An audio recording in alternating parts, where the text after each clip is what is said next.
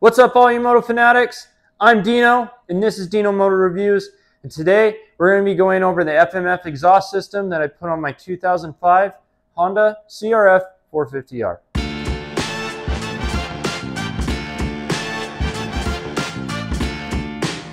Now, guys, just a disclaimer before we jump into this review. I'm not a professional rider. I'm not sponsored by any of the products that are on my channel or on my bike. I'm not sponsored by any of the companies that I purchased the products through.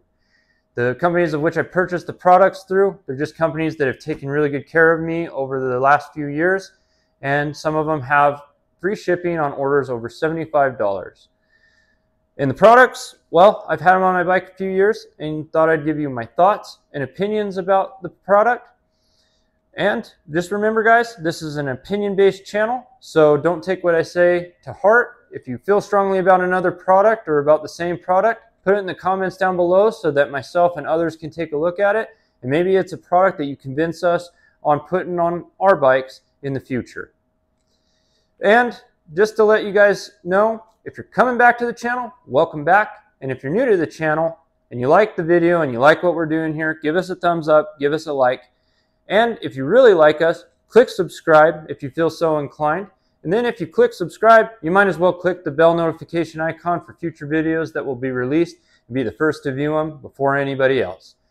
Okay, so now that we got that out of the way, guys, let's jump right into the review. So on my bike here, we have the Mega Bomb FMF header pipe.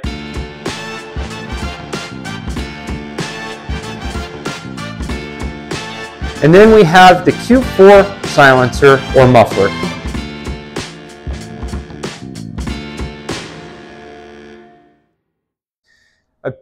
Had a really hard time getting these because COVID slowed a lot of things up, and we all went through that deal together.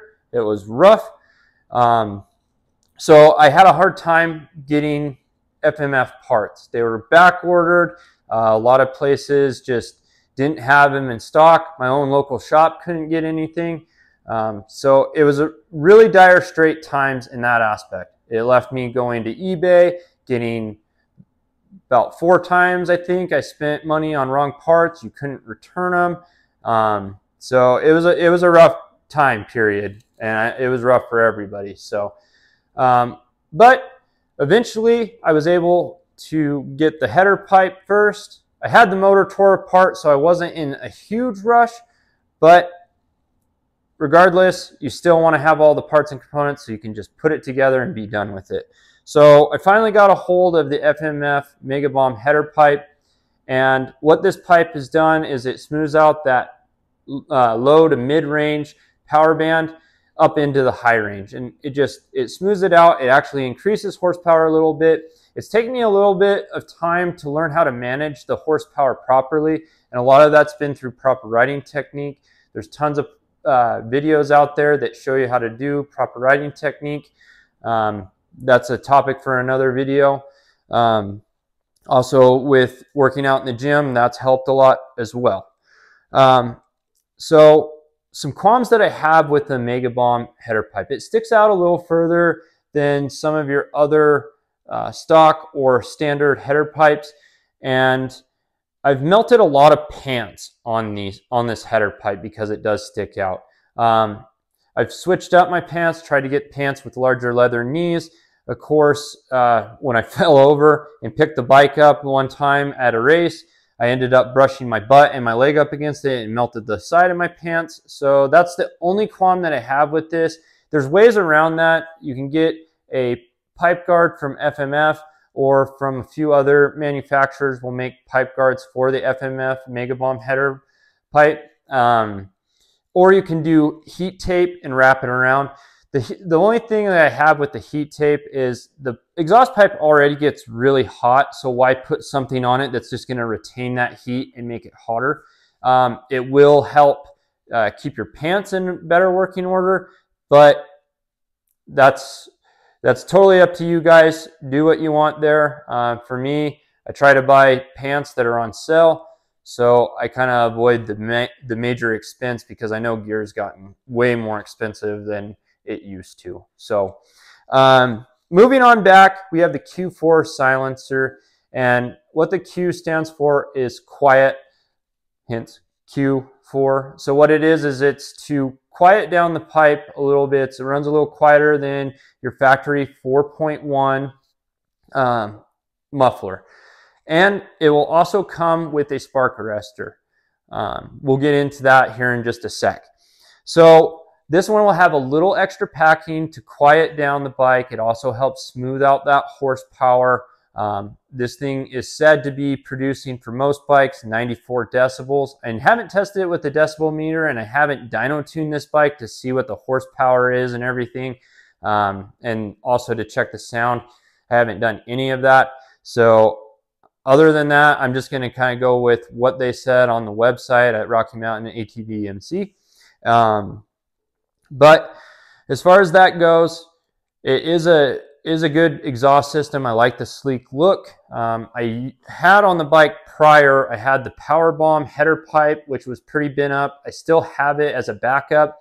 It works. It still works great. It's just a lot more bent than I thought it was. And then I had the factory four original uh, muffler with a spark arrestor screen. I didn't like the exhaust tip. It was the flat exhaust tip. I really like the cone look. Um, I feel like it completes the bike a little bit. That's just a preference that I have. Um, and then, so getting into the spark arrestor screen.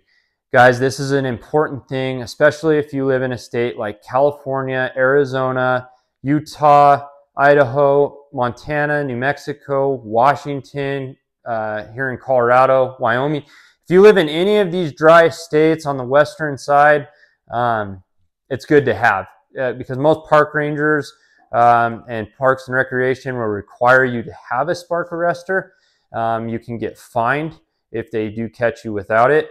Um, with FMF, they're supposed to have a tag with it. This one did not have that tag in it, so I don't know what happened to that tag, but it does have the spark arrestor screen, but it keeps our trails open. We're, we've lost a lot of trails and over the past several years.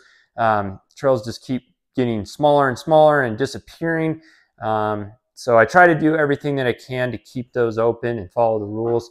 Um, but that's a rant there for a whole nother video. I could go on and on about that, but with this exhaust system, would I buy it again? Yes, I would in a heartbeat. Um, would I recommend it to anybody? Yes, I would. I, I, do think it's more geared for your more experienced rider or experienced beginner, intermediate to pro. Uh, if you're a beginner, beginner, I would stick with the exhaust, uh, the stock exhaust for as long as you can until you start overriding the bike, and maybe it's time for that increase. Um, so I do know that with the newer bikes, there a lot of them are coming out with apps that you can detune the bike, and there's other ways of uh, lowering the power, and some of them have different map switches. This one doesn't. So, with that being said, I do think this is uh, geared for more your upper level riders or your more experienced beginner to intermediate to pro. Um, guys, so that's all I have for you today. Uh, I'm glad to have you on the channel. Hope to see you back on the channel and uh, ride safe.